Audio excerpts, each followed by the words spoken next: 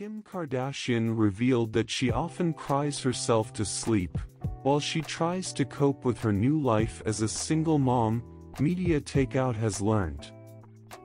In an upcoming episode of the On Purpose with Jay Shetty podcast, the Kardashian star, 42, talked about raising her four kids she shares with ex-Kanye West, daughters North, 9, and Chicago, 5, plus sons Saint, 7, and Psalm, 4. The host Jay Shetty asked Kim what parenting is like for her now, versus what she thought it would be like before she had kids. And the SKIMS founder explained, saying, Everyone says the days are long and the years are short, and that couldn't be like a more true statement. So, like, when you're in it, I mean, especially when they're babies and you're feeding, there's madness going on.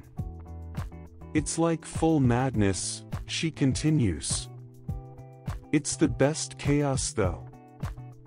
Kim added, It's like I always have to do one of my daughter's hair, and it has to be perfect and it has to be a certain way, and then this one needs me to put his shoes on and they all need you. It's like full crazy madness, cooking, running around. Like, it's wild. Then Kim turned to the dark days of parenting. She told Shetty, 35, that parenting is the thing that has taught me the most about myself. It has been the most challenging thing, she continues. There are nights I cry myself to sleep. Like, holy SHT, this F, and G tornado in my house.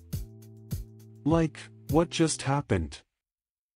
You know, with all the moods and the personalities and sometimes they're fighting, and you know, there's no one there, Kardashian adds. Like, it's just me to play good police officer and bad cop.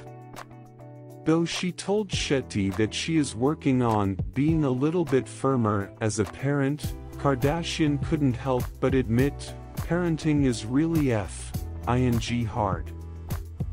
That's the only way I can describe it, she says. It is the most rewarding job in the entire world. It is. There is nothing that can prepare you.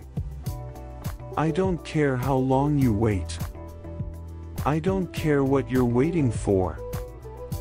You are never prepared.